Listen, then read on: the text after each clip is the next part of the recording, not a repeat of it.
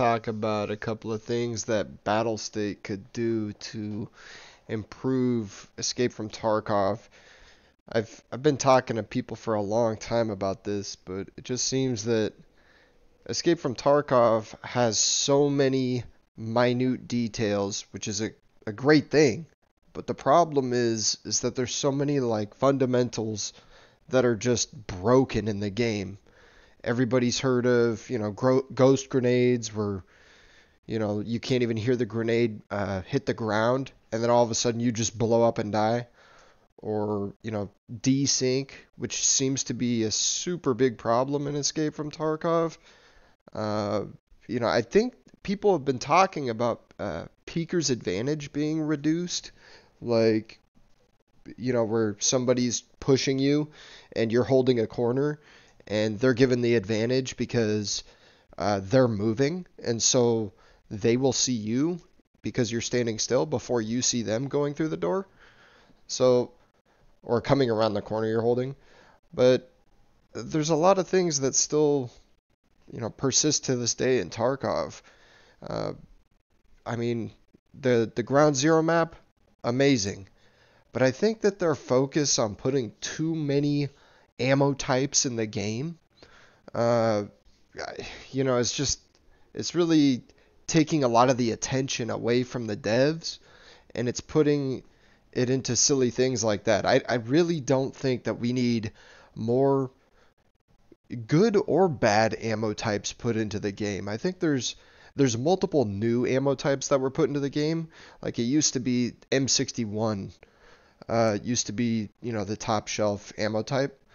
Uh, now they have M993 and I mean, I don't know why they would need this.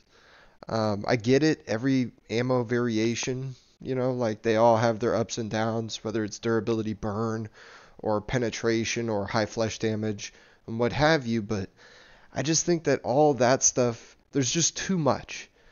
And I think that that stuff can be implemented at another time uh, because, you know, we all love this realistic shooter for what it is. Um, and we, we love seeing real life things put into a game. But the thing is, is that, I mean, there's there's bugs and things. I I don't know if any of you guys have you know had the I'm sure you have had the uh, the scav awaiting session start bug.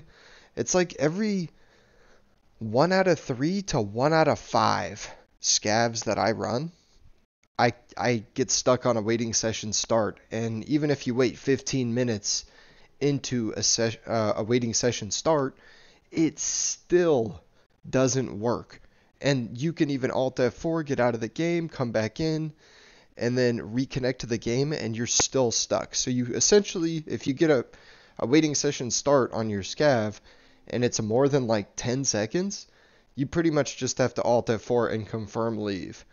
So this kind of, this has happened probably 10 times to me, and super frustrating because you essentially are put back on a 20 minute cooldown or so on your scav, depending on what your intelligence center is. So there's that. I mean, that's a huge problem. And then uh, the other night, we weren't even able to join it with groups into a game uh, for pretty much the whole night. Uh, it was multiple hours where if you were in a group and the party leader started matching, the other people in the group wouldn't be matching. So another, you know, colossal, uh, you know, just error with, you know, like the devs and I, I get it, you know, things happen to games and there's emergency maintenance and stuff. That that's all good, you know. Of course that happens. But the awaiting session start bug, I think a lot of people have complained about and hasn't been fixed and it's been weeks. And I've never experienced this issue until this this wipe. So that's one issue that I think needs to be addressed today. But there's there's plenty of other issues that we we all know about. Like I was saying, the ghost grenades. Uh, but there's there's just other things that they that Battlestate could have their devs look at instead of making new guns that nobody is going to use unless they're forced to use it on a scav or something. And I mean, nobody's going to use the the bad ammo types if they don't have to. Like if you're on a PMC, you're never going to use an ammo type that is below what you can use from the flea market or from your traders. So all the, you know, 10 different ammo types that we need per caliber just makes no sense. I mean, uh, yeah, I think you should have some good and some bad ones for different situations. I just don't think that we should go into so much depth on how many different ammo types there are, you know?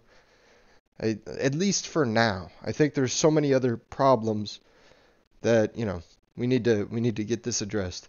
Another thing is I had a uh, I had a friend, well actually I had a my cousin has a friend who bought the game and he tried to run it on a Mac and I guess the game doesn't run on Mac and so Battlestate is refusing to refund his standard edition game.